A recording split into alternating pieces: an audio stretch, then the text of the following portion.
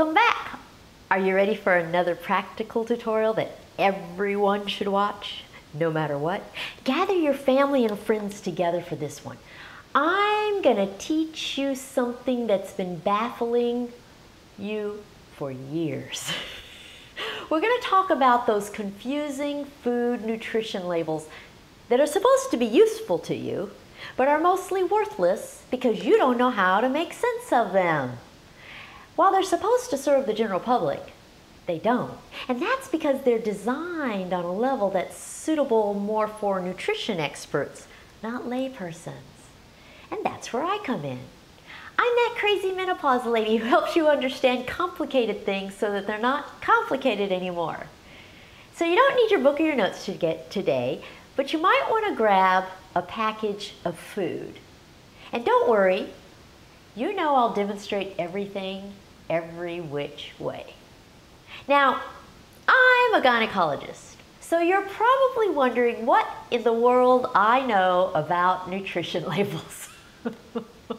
well, if that's what you're thinking, you would be correct in assuming that gynecology does not qualify a person in understanding nutrition labels. But if you've been following me for any length of time, and especially if you've watched my videos in order, you know that I'm not quite your typical gynecologist.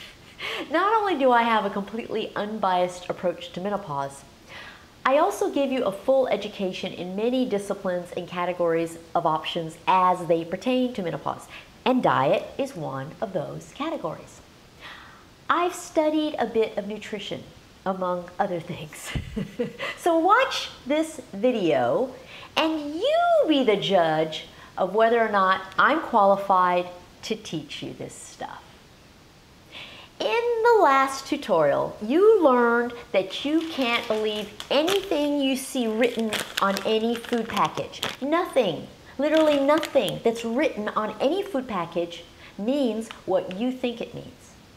Well, that leaves only the nutrition label to tell you the truth. It's that little rectangular thing somewhere on the package. The nutrition label is always in a white rectangular shaped box.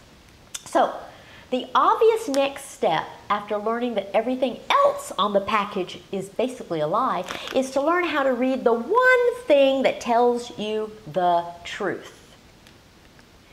And that's this white box that's on every packaged product. So I'm going to simplify and translate this nutrition information just like I do with gynecologic information. Please, please, please watch the video that comes before this one before watching this one. Of course, you really should watch all my videos in order. Otherwise, you are shooting yourself in the foot.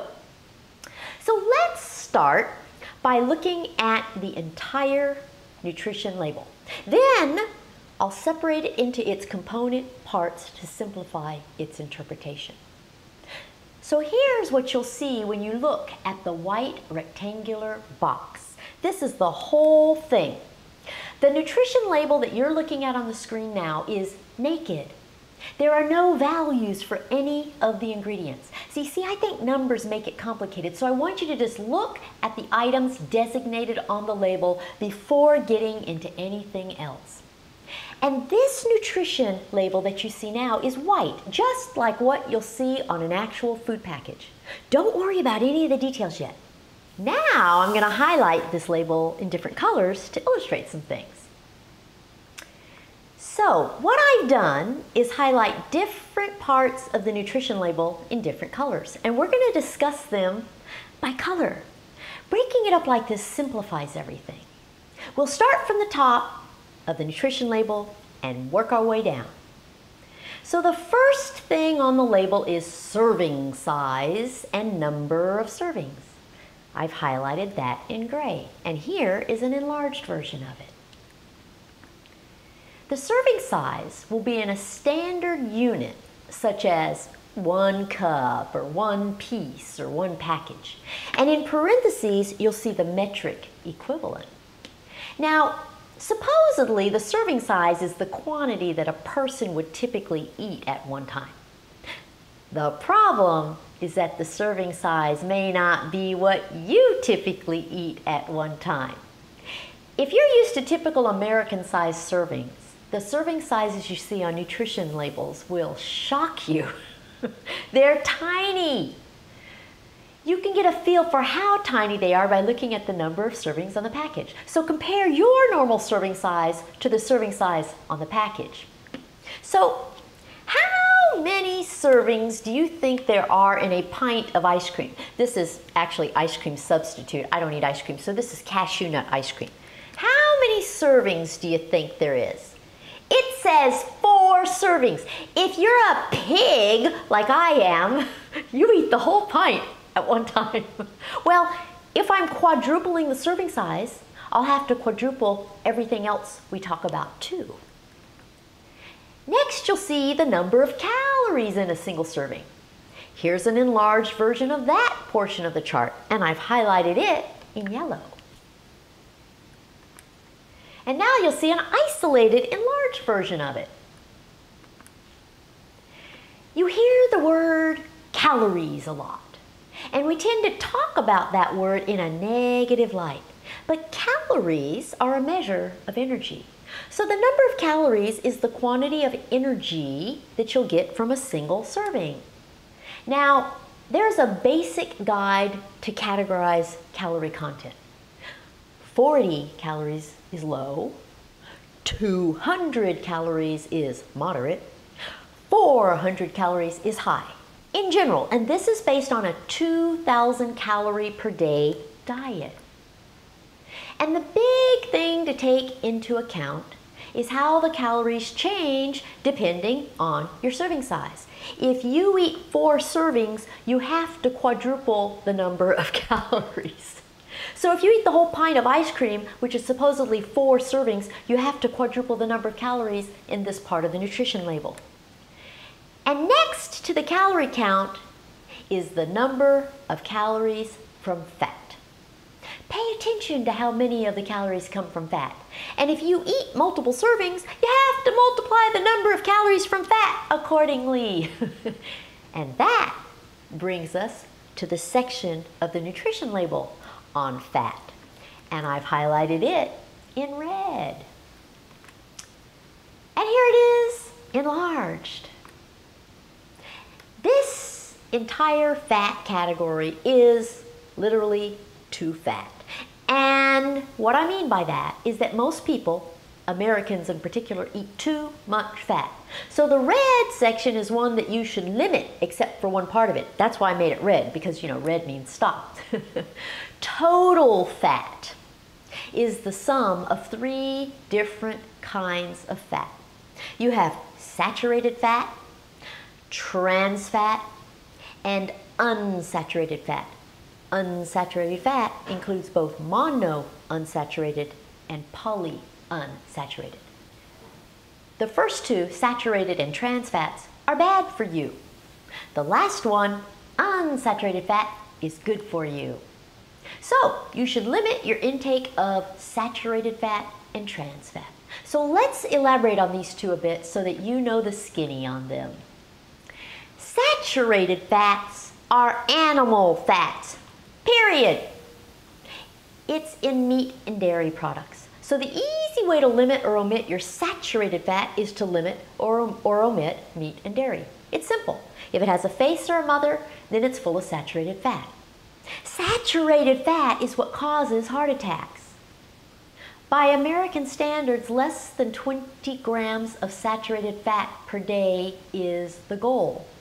But by best health standards, it should be as close to zero as possible. Here I have some pepperoni slices. There are two grams of saturated fat in one serving. And here I have a dairy product, cheese. The nutrition label indicates that one serving contains four grams of saturated fat. Now one serving of this cheese is one ounce. That, there are eight servings here. That's not much. So next is the trans fat. Now this one is infuriating. trans fat also causes heart attacks. But there are lies buried in the information you get about trans fat, even in nutrition labels. The nutrition label is the one place on the package where you're supposed to get the truth. But in the fat, trans fat row, you don't get the truth. Here's why. Do you remember in basic math when you learned about rounding up to the next full number anytime there was any number higher than a 4 after a decimal point? So 0.5 became 1. This is especially important in situations in which the 0.5 has great significance.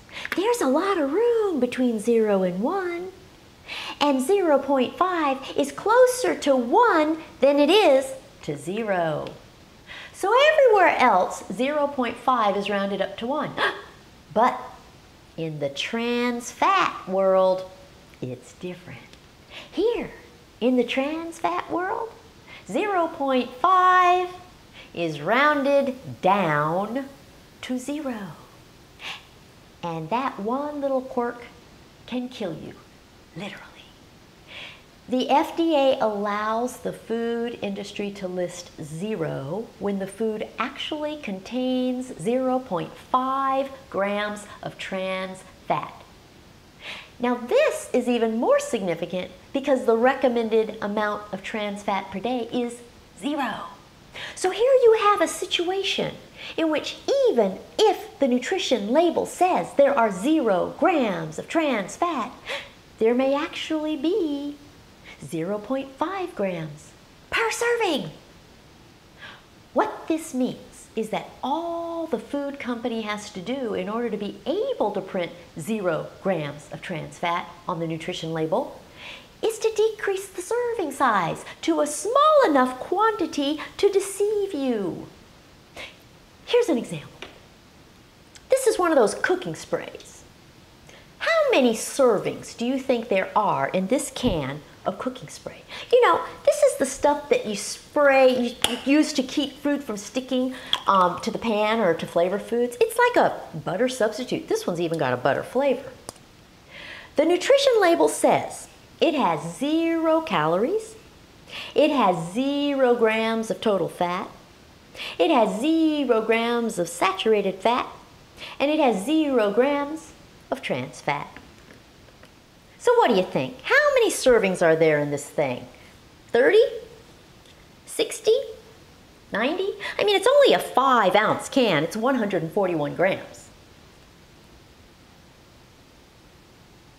It's 463 servings. A single serving is one quarter of a second of spray. Can you even spray for only a quarter of a second? Do you think anyone actually uses that little of this stuff? This is a perfect example of what a huge problem this is. Two grams of trans fat per day is considered excessive. Excessive enough to cause an eventual heart attack. You could easily consume well over two grams by using a product that says zero grams of trans fat when it actually contains 0.5 grams of trans fat, trans fat per serving. So pay no attention to the number of grams of trans fat on any nutrition label. Instead, look at the ingredients. All of the following items are trans fat. If you see any one of them, don't buy the product if you want to avoid trans fat. All hydrogenated vegetable oils are trans fat. All partially hydrogenated vegetable oils are trans fat. Shortening is trans fat. Palm oil is, is trans fat. Palm kernel oil is trans fat. And coconut oil is trans fat. Fried foods, baked foods, margarine, vegetable shortenings, and junky snacks all contain trans fats. We haven't gotten to the percent daily value section, but when we do, the general rule for your daily intake of trans fats is 0% is best. 5% or less is high. 20% or more is deadly. Now for the good fat, unsaturated fat. There are two types of unsaturated fat, monounsaturated and polyunsaturated. You don't have to worry about which is which. They're both good for you. These are the fats from plant-based foods. Nuts, avocados, and olives all contain unsaturated fat. The vegetable oils that consist of unsaturated fats are olive oil, soybean oil, flaxseed oil, corn oil, canola oil, peanut oil, safflower oil, and sunflower oil. If you're eating plant products, you know it's unsaturated fat. It's that easy. So the nutrition label on these peanuts says there's six grams of unsaturated fat per serving, and one serving is one ounce, which is about 39 peanuts, but it's good fat. And now for cholesterol. Unfortunately, you hear more about avoiding cholesterol than you do about avoiding saturated fats and trans fats. But the truth is that cholesterol is much less harmful than these other two kinds of fat. Your liver makes cholesterol and it constitutes about 85% of the cholesterol in your body. So you don't really need to eat it, and there are different types of cholesterol. There's good cholesterol and there's bad cholesterol. The easy to remember that is the good is healthy, HDL. Healthy, HDL. H is for healthy. The bad cholesterol is LDL. L, lousy. Lousy LDL. There you have it. H is for healthy, L is for lousy.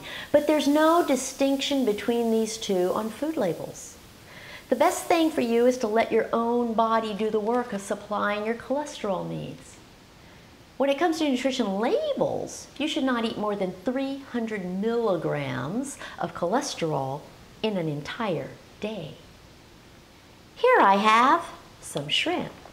These shrimp have 145 milligrams of cholesterol in one serving. And one serving is three ounces, which is about 85 grams, and that's a quarter of this package. And these are tiny little shrimp. So, do you think you would eat more than a quarter of this package if you were eating shrimp? The next item on a nutrition label is sodium. And I've put it in a pink color. That's because pink is kind of close to red, and sodium is another item that you should give pause to. You need to limit it. So, while your body needs sodium, too much sodium is quite problematic.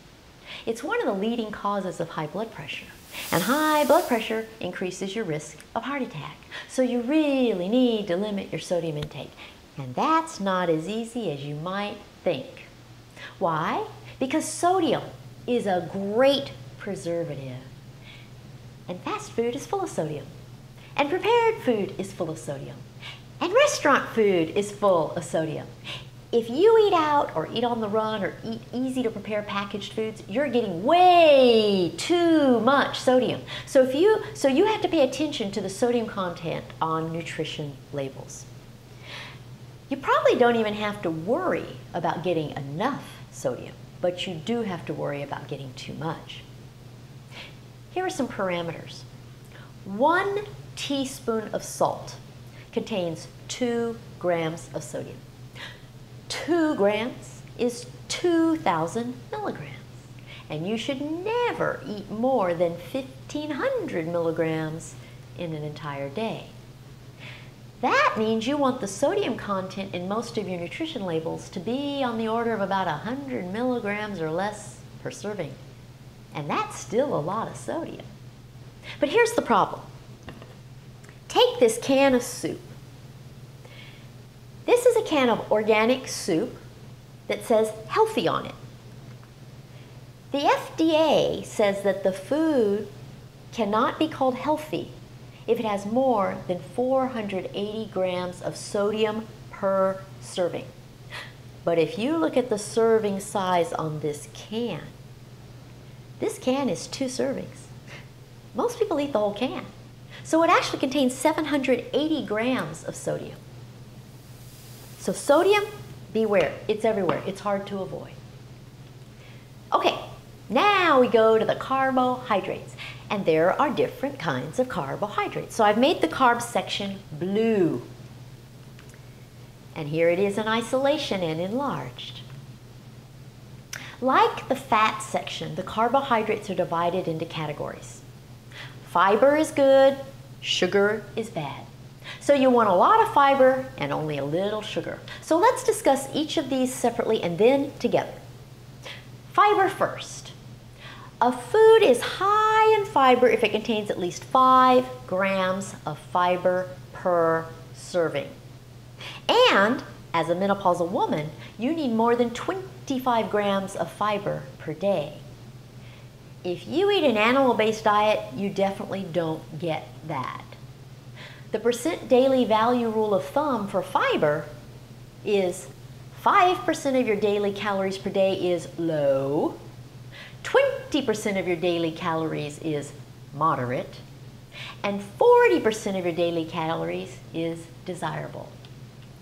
All fruits and vegetables and whole grains are high in fiber, but animal products contain no fiber. Here I have some kale. And this kale has 3 grams of fiber per serving. This is whole grain oatmeal, and it contains 4 grams of fiber per serving. This is a meat product, and it contains 0 grams of fiber per serving. See how it works? Your fiber is going to be in all your fresh fruits, vegetables, and grains. Okay, what about sugars? As you know, there are different kinds of sugar. We're going to divide them into two basic categories. Simple sugars, which are the natural sugars, and complex sugars, which are the added sugars. Simple sugars are the sugars that are natural parts of fruits. Simple sugars will not be listed in the ingredients because they're in part in they're, they are part of the food as it occurs in nature. They're not a separate ingredient. You can eat as many naturally occurring sugars as you want. They are not harmful. You won't even be able to quantify them because no label will give you that information. The other kind of sugars is the added sugars. These are not naturally occurring. And the suffix for sugar is ose. O-S-E. So all the words for sugar end in ose. There's fructose and dextrose and maltodextrose and sucralose and maltose. All are added sugars. A basic rule is to avoid, avoid buying any product with any kind of sugar listed as the first ingredient. But manufacturers have found a way to fool you on this. Since the first ingredient has to be the main ingredient and they don't want you to know how much sugar there is, they split up the different kinds of sugars so that they can list them each separately and not one of them will be the main ingredient. So instead of listing sugar as the first ingredient, you might see oats, dextrose, high fructose corn syrup, cane crystals, brown rice syrup, corn sweetener, malt syrup, palm sugar, and invert sugar. Well, guess what? Everything in that list except the first ingredient is sugar. so here I have some donuts. It says that one donut contains 12 grams of sugar. That's a lot of sugar per donut. So here's how you assess the carbohydrate content of any given food. I call this the carb to fiber 5 to 1 rule. What you do is you look at the nutrition label. You look at the number of grams of total carbohydrate. And then you look at the number of grams of fiber. Take the total carbohydrate and divide it by the fiber. If the number is five or less, buy it. If the number is more than five, put it back on the shelf. The goal is for the fiber to dominate the grams of carbohydrate. You want a high number for fiber. You can ignore any percentages, just pay attention to the grams. So look at some of these examples. The first one has a lot of carbs, but only a tiny bit of fiber. 30 divided by 3 is 10. It goes back on the shelf. Don't buy it. All the other carbs that aren't fiber are sugar. The second one still has too many carbs for its little bit of fiber. 30 divided by 5 is 6. 6 is too high. It goes back on the shelf. The third one is barely acceptable. It just makes the cut. 30 divided by 6 is 5. So you can buy that one if you want to. And the last one is the winner. A third of the carbs are fiber. You can buy a few of those. It's that simple. Do this with every product you buy. This popcorn has 27 grams of carbohydrate, total carbohydrate, and 8 grams is fiber. So 27 divided by 8 is 3.375. That means, and, and it has 0 grams of sugar. Oh, and notice that there's no butter and no salt. It's just plain corn. You can sprinkle some cinnamon on it. It's delicious. Of course, the very best carbs are the ones that have no label, fruits and veggies. You can buy and eat as many of those as you want. And finally, we're going to get to the last food group on the label, protein. I've highlighted it in orange. When it comes to protein, it's not a matter of getting enough. Instead, it's about getting too much. And that's dependent entirely on the source. You see, most people have the misconception that you have to eat animal products to get protein. That's completely false. Vegetables have plenty of protein. Whether you eat green leafy vegetables or lentils or beans, vegetables have lots of protein. But of course, vegetables don't list their ingredients on a nutrition label. There isn't a designated gram requirement for protein in general. Here I have an animal product, and this animal product has two grams of protein per serving. But a serving is only seven grams. There are 12 servings in this little tiny container. Along with that 7 grams of protein, you get 3 grams of fat, all saturated and trans. Okay? Now, this is a plant protein, and it contains 28 grams of protein per serving. But there are only 2 grams of fat none of which is saturated or trans. If you equalize the serving sizes, you have to multiply the serving size of the animal product by 8.1 to equal a serving size of the vegetable product. And you have to also multiply all the fat things by that same number. That means you get this comparison. The animal product has 16 grams of protein. The plant product has 28 grams of protein. This is for an equivalent quantity. For total fat, it's 24 grams for the animal product and 2 grams for the plant product. For saturated fat, it's 8 grams for the animal product and 0 grams for the plant product. For trans fat, it's, well, 0 grams for the animal product, but you know that that could be 0 or 0.5 and it's zero grams for the plant product, which is probably a little more accurate. For unsaturated fat, it's not listed for the animal product, and it's zero grams for the plant product. And for cholesterol, it's 40.5 milligrams for the animal product and zero milligrams for the plant products. Do you see what a big difference there is in the, this whole difference between the protein contents of plants versus animals. If you walk around the grocery store comparing things like this, it will actually shock you.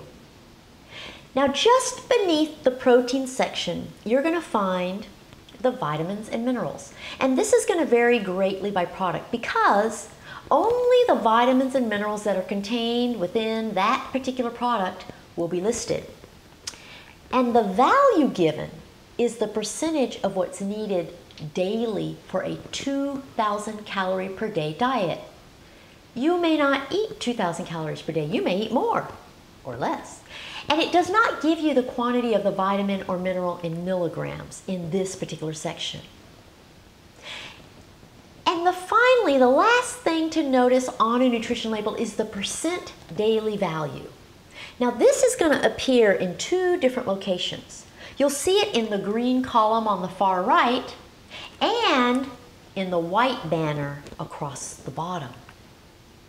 The part I have highlighted in green will be on every nutrition label, and it converts the quantities of each item into the percentage that each item should comprise, should comprise in a 2,000 calorie per day diet. Basically, it helps you determine if a single serving of the food is high or low in a particular type of nutrient. And the general rule you can use for everything is that 5% is low, 20% is high for any given category. So, for the nutrients you need more of, 5% is on the low side. For nutrients you need to limit, 5% is okay. For nutrients you need more of, 20% is good. For nutrients you need to limit, 20% is on the high side. And of course, if you eat more than the serving size, you have to adjust these percentages accordingly. If it's 20% and you're eating two servings, then it's more than that, right? Which is too high for any nutrient in any given day. So this allows you to compare different brands of products using the percentages because the milligrams will be harder to compare. And finally, there's a white banner at the bottom, and this is part is considered a footnote. You'll see that there's an asterisk in that box. Here's a close-up of what follows the asterisk. It says, percent daily values are based on a 2,000 calorie diet. Your daily values may be higher or lower depending on your caloric, caloric needs. So this white banner is just a reiteration of what you get in the other parts of the nutrition label that precede it. But instead of percentages, it's given you the milligram ranges. And that's a good thing because you'll only find this white banner on larger packages of food. It'll be missing on the smaller packages. Okay, there you have it. The bottom line is eat unsaturated fats eat fiber, and eat plant protein. If you do that, you don't have to read labels or worry about getting all the nutrients you need. So how would I do, given the fact that I'm not a nutritionist or dietitian or anything even close? that took a long time. but I hope it helps you and I hope you're able to use it when you walk through the stores and look at nutrition labels. I'll see you in a week. In the meantime, follow me, subscribe to my channel, and I'll see you later. Bye.